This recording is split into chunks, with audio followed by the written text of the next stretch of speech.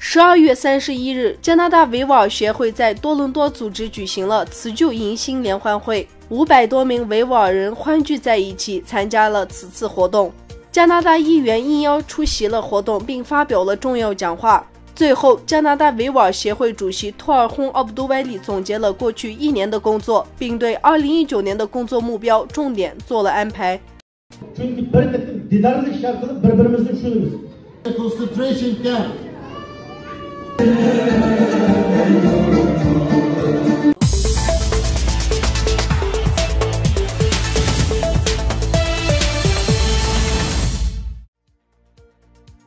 云南蔚山县永建镇三座清真寺被当地政府以违章建筑、穆斯林非法从事宗教活动、需要强拆为由被查封后，上周六上午，当地政府出动一百多名穿制服的防暴警察试图强拆。遇到当地回民穆斯林强烈抵抗，双方发生冲突，数十人被抓或打伤。目前当地人心惶惶，不敢多言，担心随时被抓捕。永坚镇回回登清真寺、马迷场清真寺、三家村清真寺每周有两千多名穆斯林参加宗教活动，但此次寺院被查封，导致穆斯林无处聚会。最近一个月，除了新疆、甘肃、宁夏、云南等地均有清真寺或穆斯林学校遭到强拆。舆论分析，各地政府正在效仿新疆维吾尔自治区的做法，清除宗教场所以及相关学校。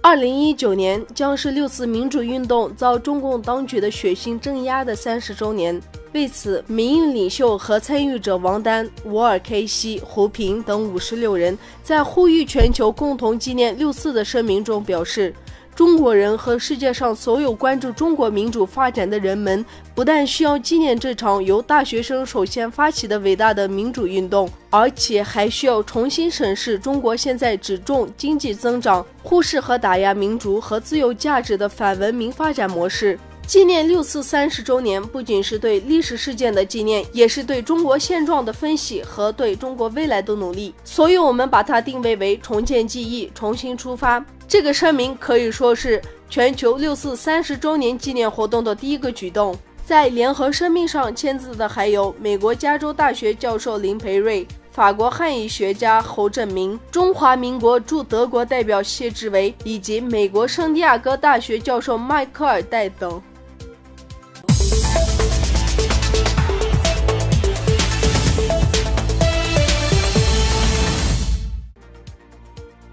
当地时间十二月二十八日，埃及著名景点金字塔附近发生恐怖爆炸事件。截止发稿时，已造成四人死亡、十人受伤，另外三人伤势严重。爆炸发生后，埃及许多媒体报道说，死伤者为中国游客。不过，埃及内政部随后发布消息称，这些伤亡者为越南人。